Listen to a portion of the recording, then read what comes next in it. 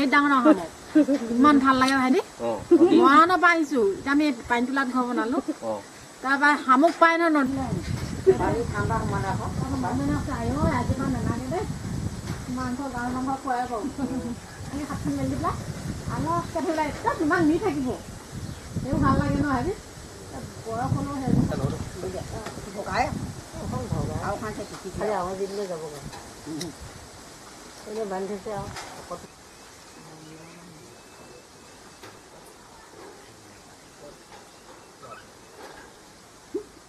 আমাৰ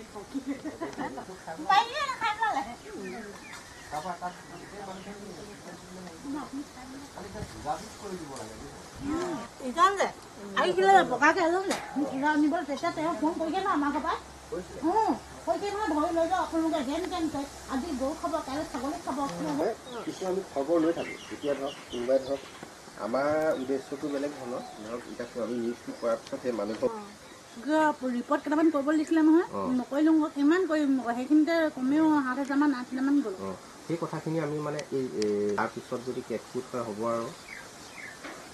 নহ'লে সিহঁতো চবেই সিহঁতক গালি দিব নহয় ইমানখিনি এনেকুৱা হৈছে ভিতৰত চিলাই দি থৈছে কৈছে চিলাই খুলিবলৈ আছে। এইবিলাক আকৌ চপাই কিনে এতিয়া বান্ধি দিছে এতিয়া এনেকৈ এনেকুৱা হেৰি চপাই দিলে বান্ধি দিলে খাপ পৰিলে আকৌ এতিয়া খাপ খাই পৰিলে তেতিয়া চাবলৈ বিৰাট বেয়া লাগিছিলে এনেকুৱাকৈ এডোখৰ নাহে কৰে বগলা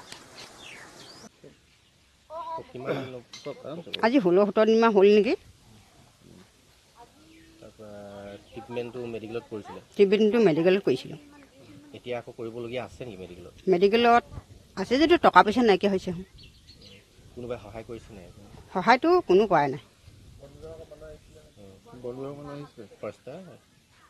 ফৰেষ্টাৰ নাহা।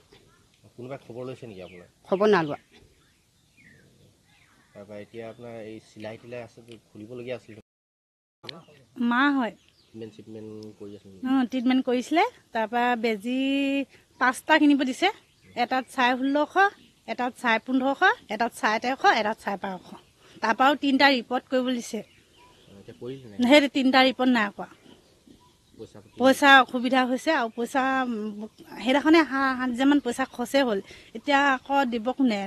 মাহঁত দেখোন অৱস্থা এনেকুৱা। খবৰ কৰিবলৈ কোনো অহা পইচামান থাকিব? কৰিয়ে আছে। কালি পৰহি ওলাইছে। অঁ প্ৰায়ে খায়।